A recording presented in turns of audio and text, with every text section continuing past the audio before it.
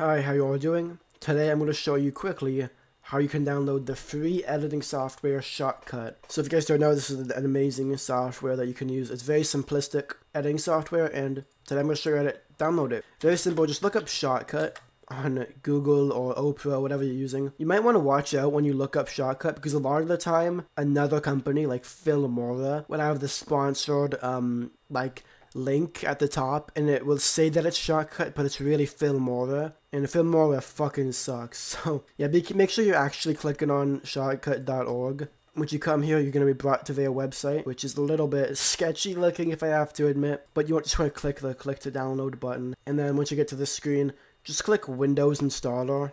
Um, unless you're not on Windows, but I'm on Windows, so click Windows Installer. It's gonna say it's downloading shortly, just wait for that to skip down. And yeah, I'll just let it go to my downloads. I don't really give too much of a shit. It's gonna download in the top corner. It's only 131 megabytes, so it should not take you super, super long unless you're like living in Africa. And if you are, hello to my African viewership.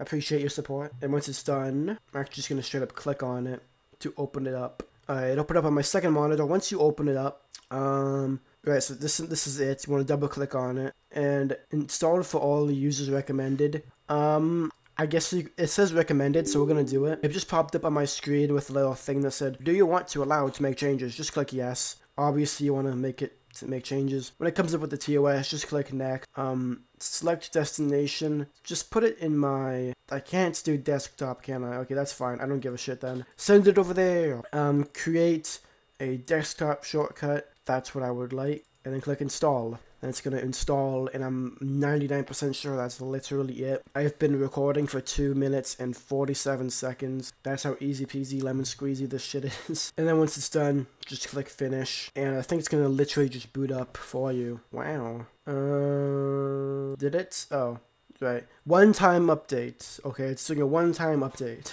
And then boom, it opens up. Beautiful. Shotcut is a great program that I actually started my YouTube career on once I actually began editing. Um, so I'm really proud that you've decided to start using this. I'm gonna make tutorials on this um, as the time passes.